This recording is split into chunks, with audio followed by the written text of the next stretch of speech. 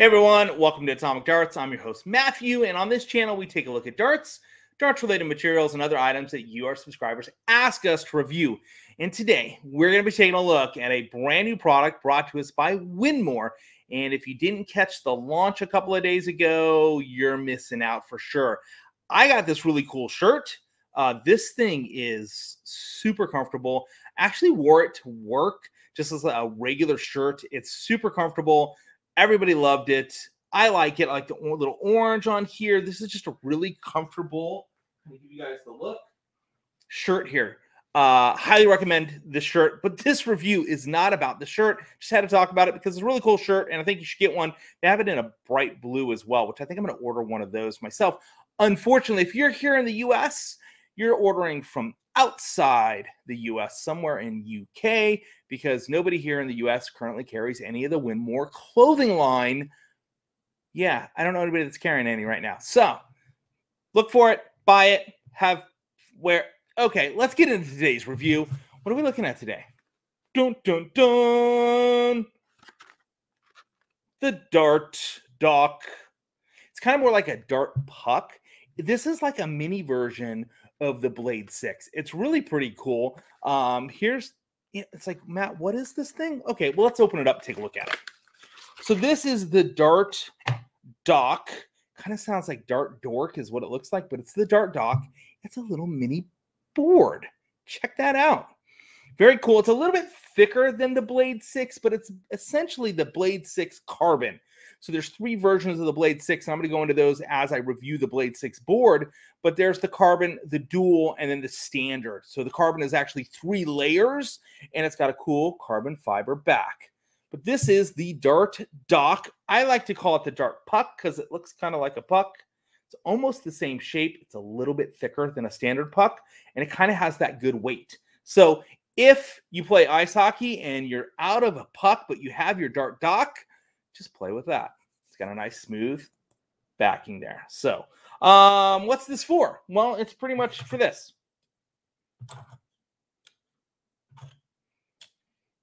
To hold your darts. That's really what it's for. It's basically a piece of dartboard, and you can store your darts, you know, set it up someplace and bing, bing, bing, have your darts in it. That's really what this is for. Outside of that, it's a pretty cool thing. It could be a paperweight. I think it's kind of cute. I mean, take a look at that. It's got a little dartboard on there. That's cool. So, as soon as I got this, saw this in the package, I had an idea. It's not just the coolest little dart store holder it's also the coolest portable dartboard. That's right.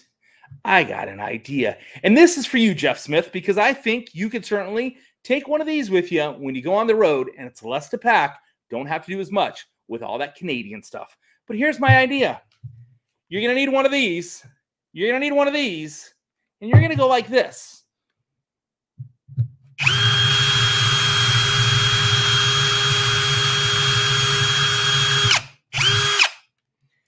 and you're going to drill in the back of it. Let's hope that that's the right size. I might need a different size drill bit. Um, you know what? I think that's going to work. And I happen to have this is called a cold shoe. It's a camera item. Um, you can get them pretty much anywhere that they have stuff like that. And I'm going to screw this in there. Take the one. So what I'm using is actually this is a cold shoe. So this is a this is something you would find with uh, a camera or something like hold on a light on top of your camera or a speaker, speaker, a microphone. But uh, I've taken this cold shoe and kind of done it on there, and then I'm gonna take it over here and I'm gonna play darts with it. Let's go. Let's do it. Come on. All right, so hopefully you guys can hear me. I'm gonna kind of scream, but I'm gonna basically take this and I've got a little uh, cold shoe bracket. I'm gonna hang it right on there. Cold shoe, get on there. Okay, I'm gonna tighten it up. All right. And there we go. We got the smallest traveling dartboard. Let's give it a try.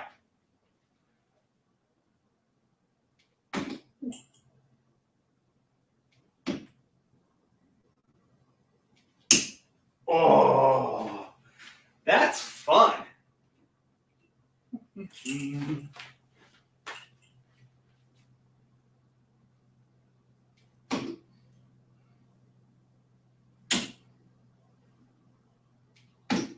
Know, Peter Wright talks about just bringing a slice of a dartboard.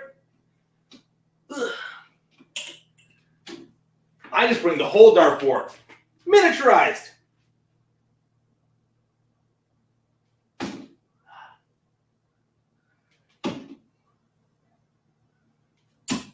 Oh, almost a bullseye.